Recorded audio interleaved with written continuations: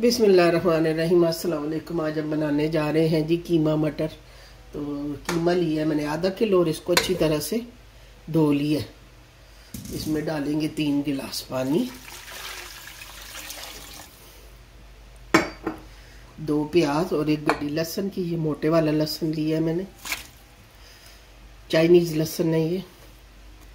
देसी है तो उसकी छोटे वाली गड्डी आप एक डालेंगे। और one and half teaspoon मैंने लिया है।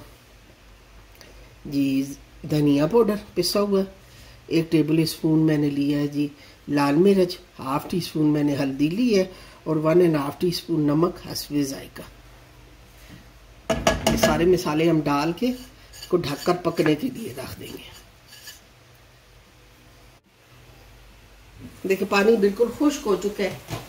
अब इसमें हम पोना का ऑयल डालेंगे। आप कम डालना चाहें तो ये आपकी मर्ज़ी है। आधा कप ही डालेंगे बाद लोगों को ऑयल जो है, ज़्यादा पसंद नहीं होता। ये देखें, सारी चीज़ें गल चुकी हैं, कीमा भी। अब इसमें हम दो अदर टमाटर लेंगे। दरमियाने साइज़ के वो काट के डालेंगे। ये साइज़ के मैंने टमाटर लिए हैं, दो।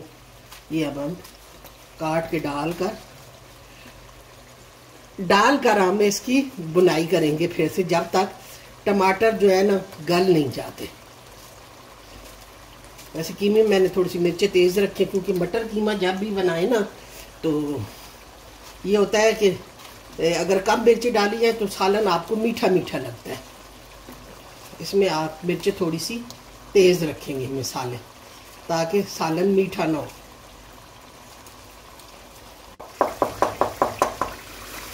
टमाटर जो है, देखिए गल चुके हैं। बाद लोग मुझसे सवाल करते हैं, जी, क्या आंटी बताएँ? कीमा आपने पानी डाल के रखा रखा है, कितना टाइम लेगा?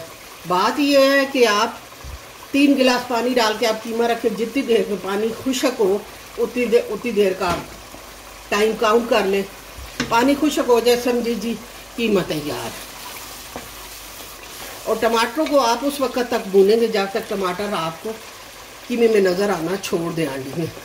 अब इसमें जो है हम दो कप मैंने टमाटर टमाटर कह रही हूँ। दो कप मैंने मटर लिए हैं, ये छिली हुए फ्रोज़न में इस्तेमाल कर रही हूँ, और साथ तीन अदर सब्ज़, मिर्ची। ये मैंने डाली हैं इसमें। आप चाहें तो आपको तेज़ मिर्चें पसंद है तो आप जो है, इसको काट के डालेंगे। और साथ ही मैं इसमें एक टेबल स्पून फुल भर कर गर्म मसाले का डालूँगी। ये मेरा उम्मीद गर्म मसाला है। अब हम पाँच मिनट मटर इसके साथ भूनेंगे, कीमे के साथ। पाँच मिनट तक मैंने मटरों की कीमे के साथ बुनाई कर ली है। अब हम इसमें इतना पानी डालेंगे जिसमें मटर भी गल जाए और थोड़ी सी ग्रेवी भी बन जाए। अगर आप सिर्फ़ भुना हुआ आपको कीमा मटर पसंद है तो आप उस हिसाब से पानी डालेंगे जिससे खाली मटर गाल जाए और आप कीमे को बूंद बाँध के उतार दें। क्योंकि ये फ्रोज़न मटर है ये जल्दी गल जाते हैं। जो फ्रेश मटर होते हैं, वो थोड़ा टाइम लगाते हैं। तो फ्रेश मटरों में आपने उस हिसाब से पानी डालना है। इसमें मैं ये एक गिलास पानी डालूँगी, जिसमें मटर भी हमारे थोड़ी देर में गल जाएँगे और साथ थोड़ी सी ग्रेवी भी बन जाएगी। थोड़ा सा हल्का हल्का सा शोरबा भी बन जाएगा।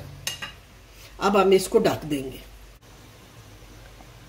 ये देखिए, थोड़ी देर बाद हम चेक कर रहे हैं। ये देखिए।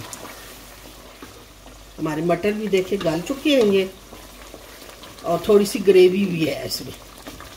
अगर आपको खुशक कीमा मटर पसंद है तो आपने ये थोड़ा सा पानी खुशक कर लेना।